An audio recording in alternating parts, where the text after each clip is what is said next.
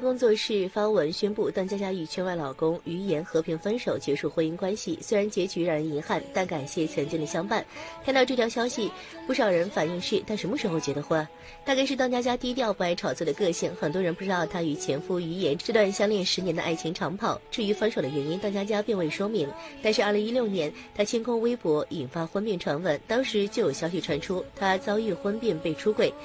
随后同一时间，邓家佳还在另一个社交平台上发文：“再见，最后一天。”而这几个字和一部电影名字正好一样。电影讲述的就是一个结婚的男子遇到了自己喜欢的女子，后来出轨的事情。这也让大家猜测邓家佳离婚是因为前夫出轨，具体分手原因并未说明。